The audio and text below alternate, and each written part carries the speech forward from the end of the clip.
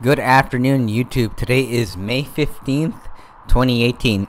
In today's video, I'm going to show you how to sell Bitcoin, Litecoin, or Ether and making sure um, that the proceeds from that sale end up in your US dollar wallet.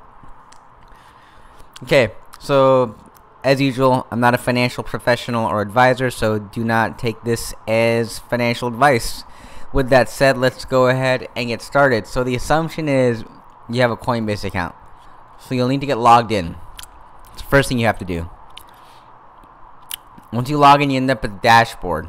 Okay? And the next thing you want to do is you go to buy slash sell.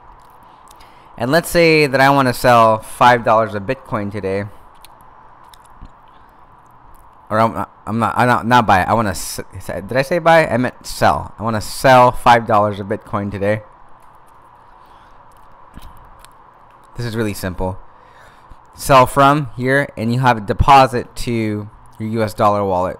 So what is the difference between selling it and getting it into your U.S. dollar wallet and selling it and putting it in your bank account? Uh, if it's your bank account, obviously you see it takes some time to get there. So today is the 15th, and it'll be available on the 19th. The other thing is once it gets deposited into your bank account, then that those funds aren't available in Coinbase as US dollars.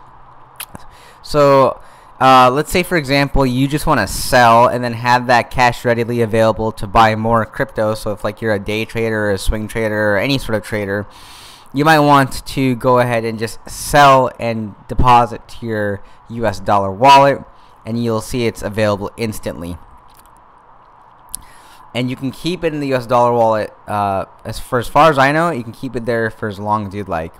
And this gives you the ability to have cash on demand in your account to make purchases. Um, and this is a, a, faster alternative than having to wire or transfer money into uh, your Coinbase account. It's cheaper than having to use your credit card to buy on Coinbase because it's uh, fee free